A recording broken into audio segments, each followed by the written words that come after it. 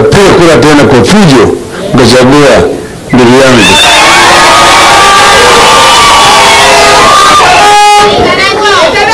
Sasa unajua waliiba kura yetu, waliiba.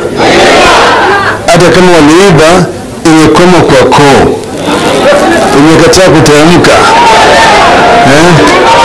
Wanatafuna lakini hateremki inawanyonga zinawanyonga, sio? Sasa tuliketi chini tukasema, tukifanya uchaguzi mwaka ile ya kura, bado kuna chuki nyingi sana, tuache ipole kwanza, sio? Lakini vilevile vile tukingoja sana, kama kura ingine inakaribia, ni vile kuna kwamba wale watu ambao wanataka kusimama wanakuja na pesa nyingi sana kununua watu hapa. Tukasema sasa ndio wakati ya kufanya hiyo harakati. Ndio sababu tulianza wiki jana, juzi tukwaza tulianza kule saa tukaenda Homa Bay, wiki hii iliyopita tukaenda huko Migori, baadaye tukafanya e, Nyamira na Kisumu, tukamalizia kule Kisii. Sasa leo tumekuja Inguu na tumeanza hapa leo mwakakamega Ilikuwa kesho tumekwenda Vihiga, lakini kwa sababu ya matanga ambayo iko hapa Kakamega, hiyo ya Vihiga tutafanya baadaye. Tumekwenda siku ya, ya, ya, ya Jumatatu tumekuwa kule Busia lakini viongozi wa Bosia wengine wameenda mkutano kule Dubai, hiyo vilevile tumeahirisha, lakini tutarudi kufanya Vihiga eh, nini, eh, Busia na Bungoma. Na Trans pamoja yote, sawa sawa.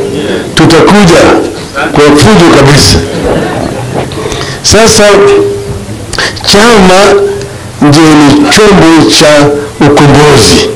Chombo zamani tu watu walikuwa wanapigania na mkuki, mishale, ngao na uta, lakini siku hizi utawala wa kidemokrasia uh, silaha ambayo tuko nayo ni chama, na chama kama iko na nguvu inaweza inashika hatamu ya utawala.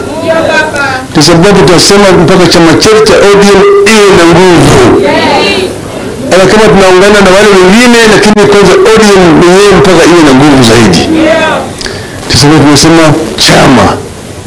Unajua kuna vijana ambayo wakati tulikuwa tunafanya usajili wa chama walikuwa miaka kumi na tatu, sasa wamefika miaka ngapi? kumi na nane, sio?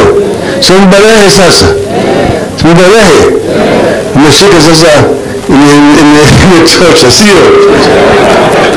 Mpaka tuwapatie hao vijana fursa ya kuingia ndani ya chama. Chama ni kama mto, kama mto. Ule mto Nzoya natoka pita hapa. Na Yala anapita pande hii, inatoka milimani, mikia iko kule milimani, kichwa inaingia kule kwenye ziwa, inaingia maji